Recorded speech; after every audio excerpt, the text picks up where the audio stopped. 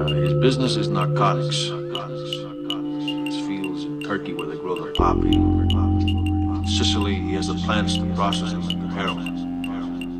He needs cash. He needs protection from the police, for which he gives a piece of the action. I couldn't find out how much. There's more money potential in narcotics than anything else at. Now, if we don't get into it, somebody else will. And with the money they earn, they can buy more police and political power.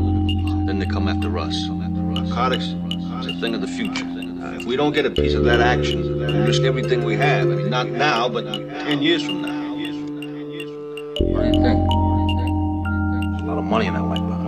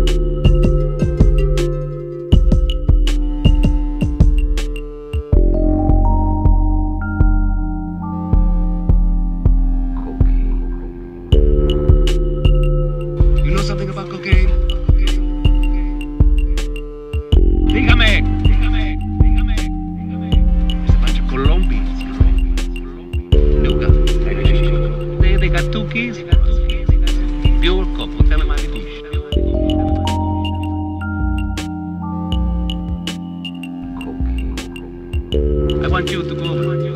Because what they say is bam and bring it back.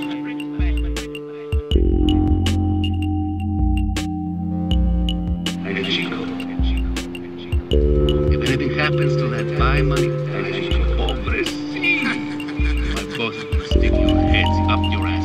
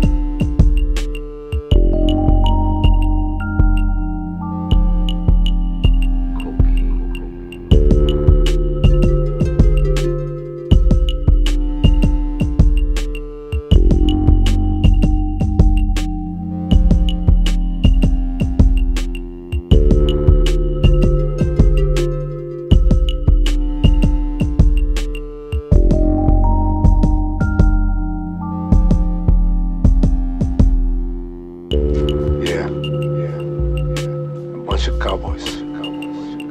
Somebody fucked up.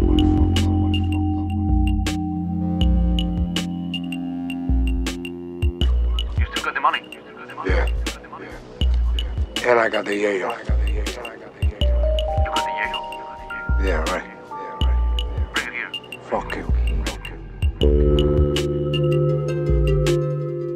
He's known as a top narcotics man.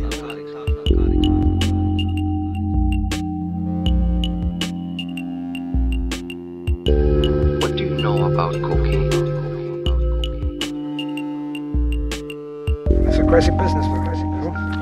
But that could happen to anyone, even you.